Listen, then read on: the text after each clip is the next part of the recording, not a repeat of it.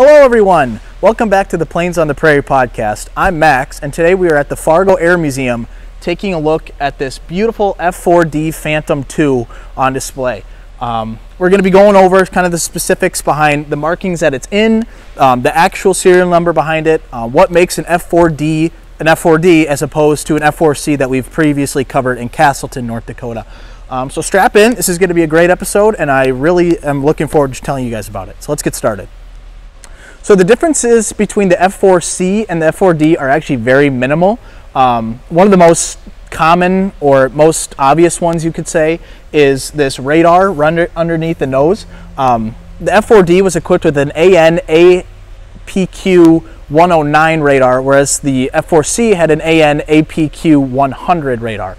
Um, it's not very visible here, but the um, the A the 109 basically was a big hump that you would see right under here. Um, that's the way that I was told that you could at least differentiate the two. Um, the other difference would be the avionics. Um, unfortunately, as you can see by the cockpit, we don't really have access to that. Um, so hopefully we can get inside an F4 one day that actually has uh, an accessible cockpit. Um, but yeah, next we will be going over um, some of the more history behind this exact aircraft.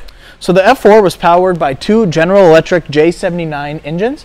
Um, they both produced about 17,900 pounds of thrust. You might notice that this F4 has a cable or a arrestor hook for hooking onto cables. And then in the back, you might notice that the wing um, kind of bent up. It actually folds up. Um, I know most commonly um, hooks and folding wings are most uh, mostly associated with the Navy. However, Air Force F4s did have that as well. That was for um, ease of storage with the folding wings, and then with the hooks, if the brakes gave out after a combat mission or if something was wrong where the pilot could not stop the F4, this would come down on an airfield with a cable or something like that and help save them. So this F4 is marked up as 64-0959. However, its original serial number is 66 7693. So this aircraft was delivered to the United States Air Force in 1966, and it spent the late 1960s flying, flying with the 4,485th Test Squadron out of Eglin Air Force Base in Florida. Um, after that, it was assigned to the 49th Tactical Fighter Wing at Holloman Air Force Base down in New Mexico. Um, it was there for about 10, 15 years before it was delivered to the District of Columbia Air National Guard in 1981. It would spend about nine years flying with them until I believe 1990 when it was struck off charge and given to Andrews Air Force Base in Maryland as a ground trainer. Um, after this, we're going to be going into more of the specific history behind uh, what 64 0959 did in December of 1986. So the 178th Fighter Interceptor Squadron of the 119th Fighter Interceptor Group of the North, Air, North Dakota Air National Guard flew the F-4D Phantom from 1977 until 1990 when they were eventually phased out and replaced by the F-16A Fighting Falcon or Viper. Um, this aircraft is in the second scheme that the hooligans wore on their F-4s. The first one was right after the Vietnam War era where they were getting rid of the um, Southeast Asia uh, three-tone camouflage pattern that you see on a few of the early F-4s. This one is an Air Defense Command gray scheme. Um, this was the second one that they had. Um, and then the final one was a darker gray, more kind of like the Shamu color that you see on many KC-135s. As you can see, this one has the bright red uh, hooligan ta tail fin flash that they were very well known for. Um, during the F4 Phantom years, the hooligans um, went to, I believe, two William Tell competitions at Tyndall Air Force Base in Florida. Unfortunately, they did not win either of them. Um, but yeah, that's all we have for the hooligan history.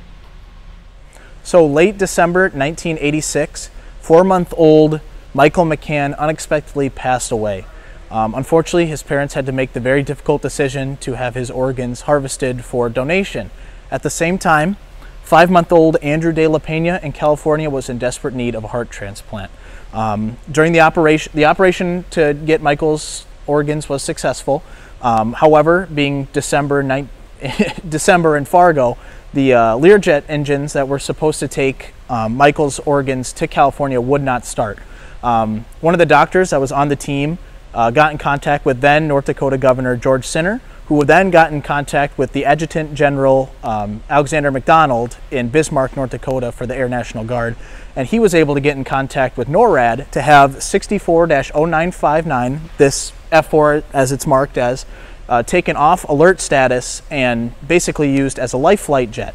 Um, the original plan was to have the Heart be in the cargo bay of this F4. However, since the F4's um, cargo bay wasn't heat or temperature regulated, um, the Heart was put into a little cooler and had to actually be put in the back seat of this F4. Um, the pilot of that mission was First Lieutenant Robert Beckland, who um, is obviously one of the more interesting missions of his time. Um, it was about a four hour flight from Fargo to San Diego. They had to stop in New Mexico to refuel and then get um, clearance from San Diego Tower where they were going to land, where the heart was going to be dropped off to the doctors at. Um, even though it was outside of the four hour window for um, the heart delivery, the operation was a success. Um, to this day, uh, Andrew De La Pena is still alive. He still has the heart that he was given that day. Um, I believe he is in his mid 30s. Um, other than that, that is all we have for you today with this F4. Um, we appreciate you guys tuning in for this video. Um, we really appreciate it. Um, we do still have stickers if you are interested. Uh, you can find us um, on Instagram, YouTube, Facebook, you name it. Um, but yeah, thank you guys again for checking out this video. We appreciate it very much.